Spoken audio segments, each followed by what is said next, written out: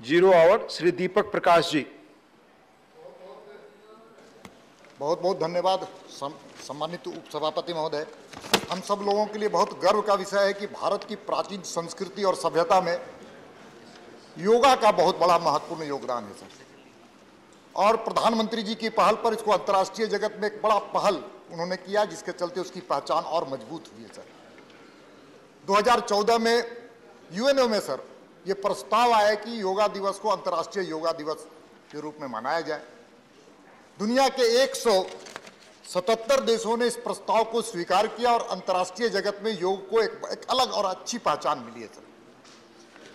अब अंतर्राष्ट्रीय योग दिवस मनाने के संदर्भ में हम सब लोग जानते हैं कि घर घर में महामारी के समय में एक योगा ने इसको बहुत अच्छे ढंग से हर घर में योगा और योगा के माध्यम से महामारी में, लड़ाई में इसने सफलता पाई है सर योगा। और इसलिए आपके माध्यम से सर हम इसमें आग्रह करना चाहते हैं सर कि ये आज इसको जो सिखाने वाले योगा के टीचर हैं, सर, योग शिक्षक हैं। और योग शिक्षक आज उनकी मांग देश और विदेश दोनों जगह पर बहुत बड़ी तेज़ी से बढ़ी है sir.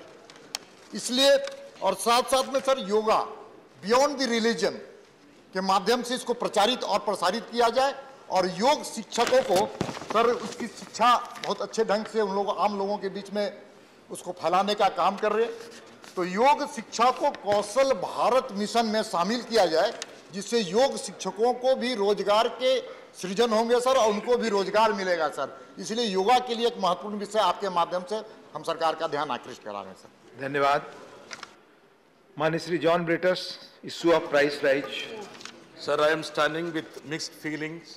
I am happy that uh, we have birthdays of three honorable members and also today is Odisha Day. Sir, I am sad because the life of the common man is becoming tough and much more difficult. Today is April 1st and already the people are reeling under the price rise and every day the petroleum price is going up. But today onwards, another unfortunate thing is going to happen. The wholesale price of drugs of more than 800 items, which are essential for our survival, is being increased by 11%. So this is unprecedented. There has been no such steep increase in the past. When the whole country is passing through a health emergency, this should have been avoided by any sensitive government. But there is, there is a gross insensitivity that is shown to the people. Already the, already the health budget of the people have gone haywire. And in this, almost all the essential drugs, the price of almost all the essential drugs, which are for fever, infections, heart disease, anemia, etc., even for paracetamol, sir. So last one week I was sick, and you also asked me uh, where I was, and you missed my voice yesterday. I was very happy when you said that you were missing my voice. Sir, it, is, it was because I was sick, sir. Just because I had the CHS facility, I could avail medicine. But think about the vast chunk of the population who doesn't have any social security measures or health insurance. What is their plight, sir? Sir, just look at the history. Last year, the increase was hardly 0.53%. And in 2020, it was 1.88%. Even if you look at the data of the previous years, there, there has been no such steep hike in the price of the essential drugs. Priyanka ji I Priyanka would ji has deplore, to the, gov- associate I would deplore Yes, the action of the government and I would urge upon the government Thank to withdraw this steep hike. Thank you Priyanka ji please. Uh, Thank you, sir.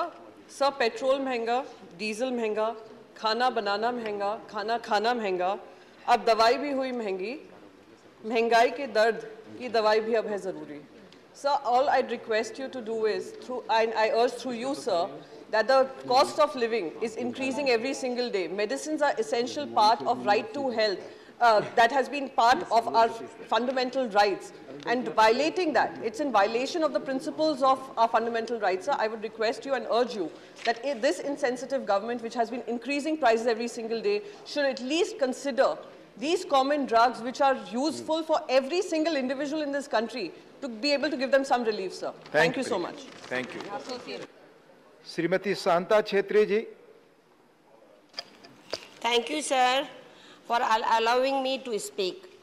Sir, I would like to draw the kind attention of this august house that the center has told the Supreme Court that state can consider granting Hindus the minority status if the community is not in a majority within their jurisdiction.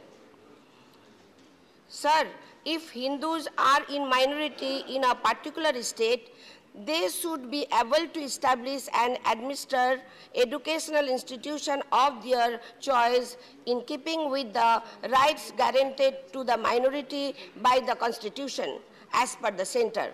I humbly urge the August House to draw the kind attention of the Honorable Home Minister to urgently direct the Meghalaya government to grant minority status to Hindus via notification as per Article 29 and 30 of the Constitution of India. Thank you, sir. Thank you, Shanta ji. Srimati Bandna Chauhan ji. Srimati Bandna Chauhan ji. Mani Sri A.D. Singh. Honorable Deputy Chairman, sir, with your kind uh, permission, I want to bring, uh, ask uh, to the government through you that with the excess of use of urea, it is a great concern, concern from the point of view of environmental issue. Only 30% of the nutrient out of the urea goes in the soil. Rest either contaminates the uh, underground water or goes in the atmosphere. And as you are, as we, all of us are very well aware that uh, crores of uh, soil health card has been issued by the government. So government should educate the farmers not to use urea in excess, which is going to harm the soil health for the next generation.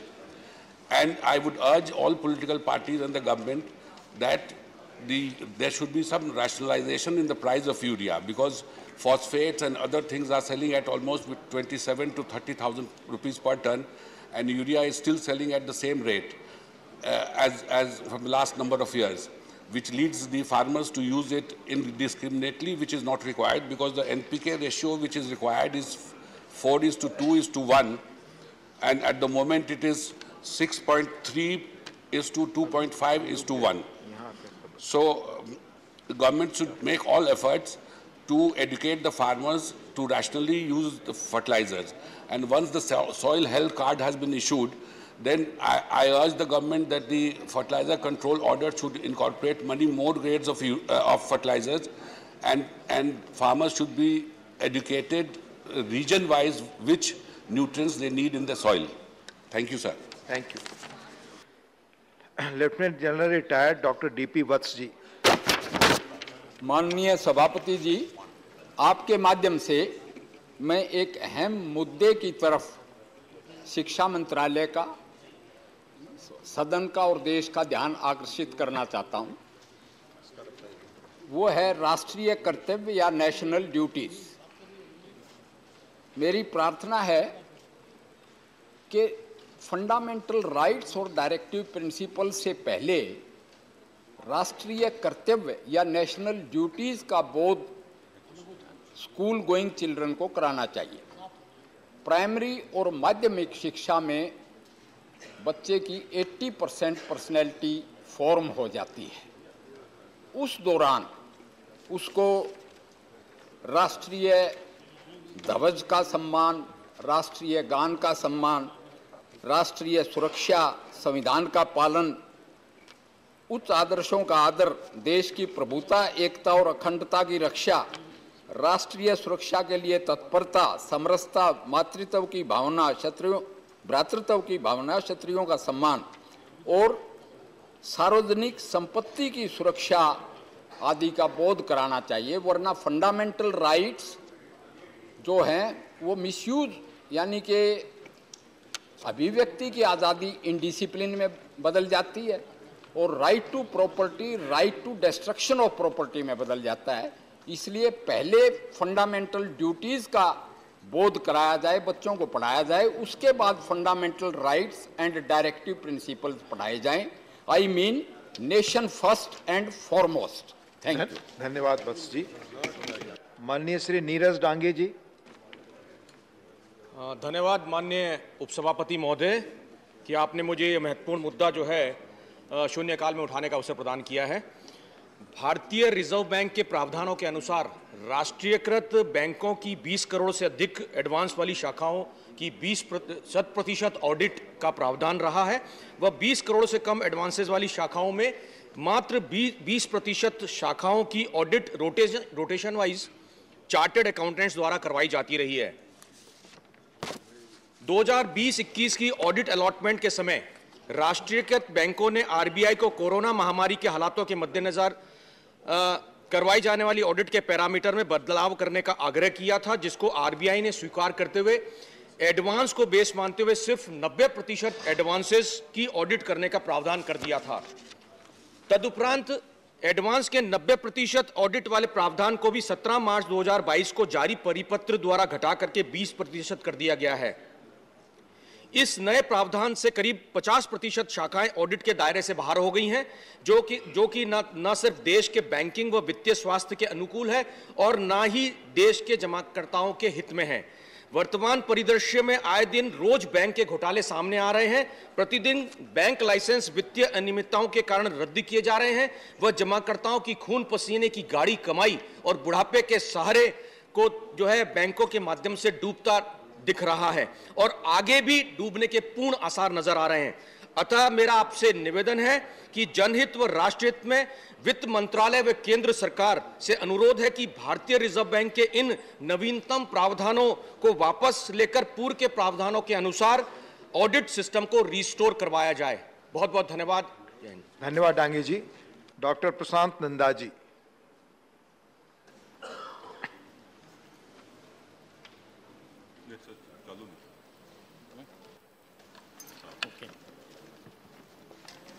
Thank you, Deputy Chairman, sir. Bande Utkal Janani. Today is Odisha Day. On this particular day, Odisha. On this particular day, in 1936, my state, Odisha, was declared as a separate state. So let me come to the subject. Sir, you know, these left-wing extremists, they cannot be exterminated through barrels of gun. Sir, the people living there has to be given a chance to develop their socio-economic status. This is what my government of Odisha has understood and have done in this respect and much of this extremism have been curbed. But there are 11 districts which is of concern. Sir, I would like to put it here that in order to put those people and give, support them in for socio-economic, uh, to uplift their socio-economic standard, sir, rail connectivity and road connectivity is most important. I'm happy that Rail Minister, Honorable Rail Minister is here and is, he'll definitely take action. The government of Odisha has requested the union government for railway connectivity between Malkangiri to Bhadrachalam 150 km and Navrangpur to Junagarh 118 km, which will be immensely helpful for the socio-economic uplift of the tribal populace and also for countering left-wing extremism in the region. The government of India may consider this request of the state government at the earliest and also the union government has been requested by the state government for railway connectivity between Malkangiri to Bhadrachalam 150 km and Navrangpur to Junagarh 118 km. Regarding road development, sir, the government of Odisha has also requested the union to Motu via Malkangiri length 202 km which is the lifeline of the western and southern Odisha, providing interstate connectivity to Andhra Pradesh and Chhattisgarh to four-lane standard. This will boost the socio-economic growth of the region and also help to combat Naxal menace in the LWE area. The government of India may consider this request of the state government at the earliest. The government of Odisha has also requested the union government for development of the stretch of uh, NH 326 time, time is over. from Jai Time is over, Mani Prakash Nanda. The time is over. It's not going on record now. Thank you. बहुत बहुत बधाई आपको उड़ीसा दिवस पर और आपके माध्यम से पूरे उड़ीसा वासियों को बहुत बधाई शुभकामनाएँ धन्यवाद माननीय श्री रामचंद्र झांगरा जी धन्यवाद मान्यवर एक महत्वपूर्ण मुद्दे पर सदन का ध्यान आकर्षित करने का मुझे मौका दिया है। मान्यवर, पिछले सदियों पहले गाँव में जो किसान काम करने वाले कृषि का काम करने वाले होते थे, उनको ग्रामीण कारीगर दूसरे गाँव से भी लाके बसाने पड़ते थे। वो चाहे लोहे का काम हो, चाहे लकड़ी का काम हो, और यहाँ तक पशु उठाने, चमड़ा उतारने का काम हो, अगर गाँव में नहीं होते तो दूसरे गाँव से लाके बसाने पड़ते थे। उनको कृषि योग्य भूमि भी दी जाती थी और रिहायशी भूमि भी समलात भूमि में से दे दी जाती थी। अब समय के साथ साथ जैसे मशीनी युग आया तो उनकी उपयोगिता खत्म हो गई और आज वो बहुत ही दबाव का जीवन जी रहे हैं। उनको बेदखली के आदेश दे दिए जाते हैं। अगर गलती से किसी सरपंच की ऐसे की वोट दे दी जो चुनाव हार गया और विरोधी बन गया तो उनके ऊपर बेदखली के आदेश दे दिए जाते हैं कि पंचायत लैंड के ऊपर ये नाजायज बैठे हुए हैं। मैं ऐसे दो एक उदाहरण दूँगा आपको। भिवानी के जरवाई गाँव है एक, उसमें एक जांगड़ा परिवार सैकड़ों साल पहले वहाँ के बसा था। उसने गलती से दूसरे सर, आदमी की वोट दे दी और वो चुनाव हार गया। तो उसको बेदखली के आदेश दे दिए और उसका घर गिराने के ऑर्डर दे दिए और वो आदमी शर्म के मारे आत्महत्या कर गया, जो कभी दो बार गाँव का सरपंच रहा था खुद। ऐसा ही उदाहरण कलोसरा गाँव है, करनाल में। 1618 एकड़ ज़मीन पर दबंगों ने कब्जा कर लिया श्यामला ज़मीन के ऊपर। वहाँ पर दलित परिवारों के परिवार जो जितने भी परिवार हैं, पिछड़े परिवार हैं, पशुओं का गोबर डालने के लिए भी ज़मीन नहीं है, उनको अपने पशु बेचने पड़े, वो दूध का काम करते थे, वो बेरोजगार हो गए।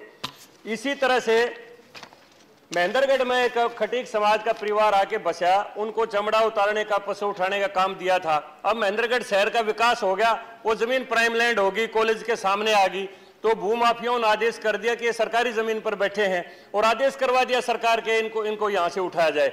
अब हिंदुस्तान में उनके पास कहीं एक गज जगह नहीं है, वो जाके बसेंगे कहा?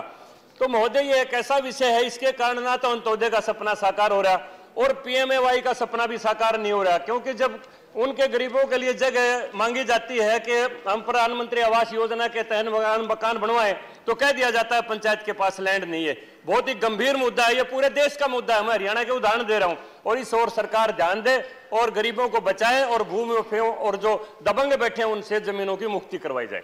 धन्यवाद। धन्यवाद। झांगड़ा जी इस उच्च सदन में अनेक प्रतिभाएँ कला संगीत से संपन्न हैं उनमें से झांगड़ा जी भी हैं।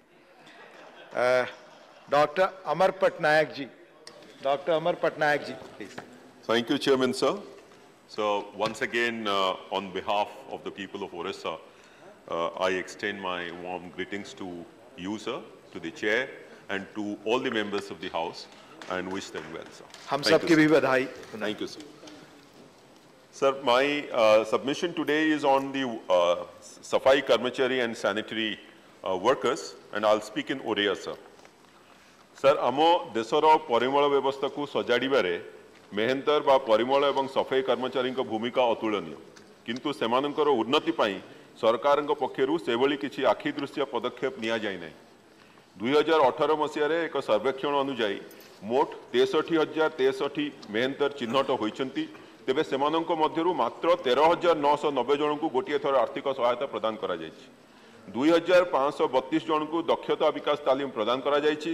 ପରିମଳ କର୍ମଚାରୀଙ୍କ ଉନ୍ନତି ଏବଂ ଥଇଥାନ ପାଇଁ ଆତ୍ମନିର୍ଭର ପ୍ରକଳ୍ପ ଅଧୀନରେ ଥିବା ଆତ୍ମନିର୍ଭର ଯୋଜନା ଜରିଆରେ ମାତ୍ର ତିରିଶ ଜଣଙ୍କୁ ମୂଳ ପୁଞ୍ଜି ଉପରେ ସବସିଡି ଯୋଗାଇ ଦିଆଯାଇଥିଲା କାମ ଅଭାବରୁ ପାଖାପାଖି ପଚାଶ ହଜାର ପରିମଳ କର୍ମଚାରୀ ସେମାନଙ୍କର ରାଜ୍ୟ ଛାଡ଼ିଛନ୍ତି ମହାମାରୀ କରୋନା କାରଣରୁ ସେମାନଙ୍କ ଆର୍ଥିକ ସ୍ଥିତି ଆହୁରି ଦୁର୍ବଳ ହୋଇପଡ଼ିଛି ଫଳରେ ପ୍ରବାସୀ ଶ୍ରମିକଙ୍କ ସମସ୍ୟା ଭଳି ଦୁଇ ହଜାର କୋଡ଼ିଏରେ ପରିମଳ କର୍ମଚାରୀଙ୍କ ସଂଖ୍ୟା ମଧ୍ୟ ବୃଦ୍ଧି ପାଇଛି ସରକାରଙ୍କର ପାଖରେ ଏ ନେଇ କୌଣସି ନିର୍ଦ୍ଦିଷ୍ଟ ତଥ୍ୟ ନଥିବା ବେଳେ ସେମାନଙ୍କ ସଂଖ୍ୟା ଏବେ ପଚାଶ ହଜାର ପାରି ହୋଇଯାଇଥିବା ଅନୁମାନ କରାଯାଉଛି।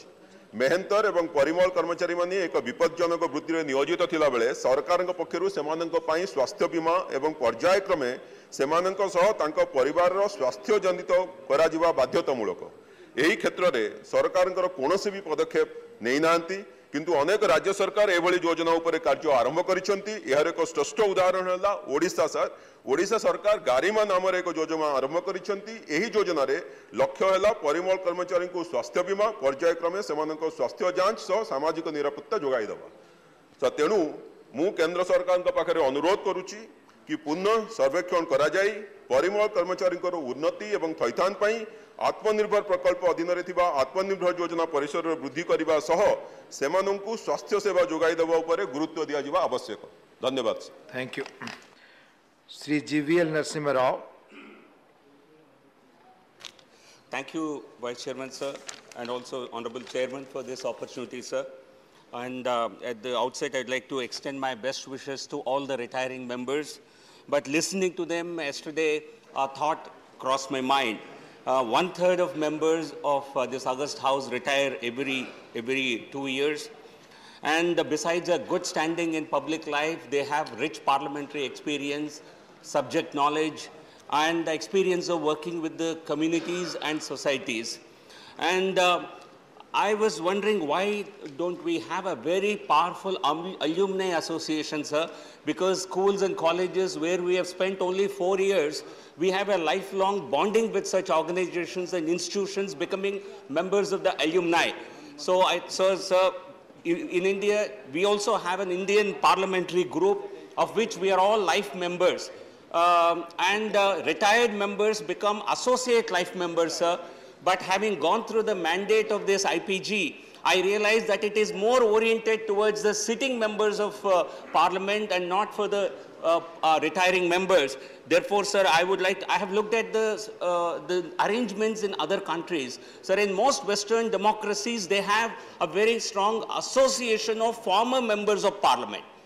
They have it in the US, they, it, which was set up in 84. They have something, the, the UK Parliament has an association of former members with, a, with an office in uh, the House of Commons itself. Australia has it, European Association of Former Members. All these institutions certainly uh, provide uh, an opportunity for the former members of parliament to participate in, uh, uh, actively participate in public life, sir. Honorable Prime Minister has been exhorting all the citizens of this, this country to participate uh, in nation building efforts in the 75th year of independence. I would like to urge, uh, I would like to urge you, sir, and also the government to enable a constitution of an institution, an association of former members of parliament as an alumni institutions with no cost to the exchequer which is what in most countries, it, it, it only has a recognition of the par parliament, but no cost to the exchequer, which can organize an annual meeting of all the former members. It can also call, uh, organize regional meetings in different regions of this country. It can also uh, undertake study tours and also voluntarily participate in certain nation building activities undertaken by the government. So I would like to strongly urge uh, the government to take such an initiative, sir, and I would request all the colleague members to support such an effort because it will give us an umbilical connection to, to the House of Parliament and also will enable us to contribute in a channelized way. Thank you, sir. Associate करने वाले सभी माननीय सदस्य अपना नाम कृपया यहाँ भेज दें माननीय श्री संभाजी छत्रपति माननीय श्री संभाजी छत्रपति नॉट प्रेजेंट